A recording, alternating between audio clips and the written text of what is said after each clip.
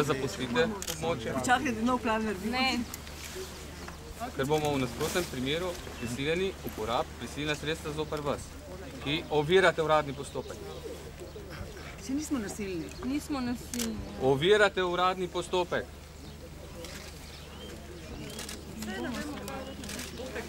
Ovirate življenja državljanov. Zdaj vam pa ukazujem, da od, se odstranite iz tega območja. Vi niste naš prijatelj. Potem, niste naš prijatelj. zgleda. A ste naš sovražnik?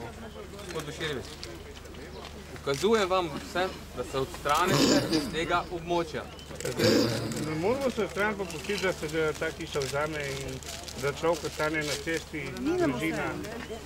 Nažalost, no, tako je. Gospodje policisti, Mi- mi, mi... napačen naslov. Tako je. Naslov je Hilda Tušak. Prav naslov je Igor Bavčar. Prav naslov je Često Gled. Prav naslov je Italij. Vi izvajate ukaze slovenske kaste in tega ne bomo dovolili. Bravo! Bravo! Ne bomo ker tega dovolj. Dovolj je tega. To je tiranija nad slovenskim narodom in nehajte izvajati ukaze kaste. Nehajte izvajati ukaze kaste slovenske. Ne odstranjate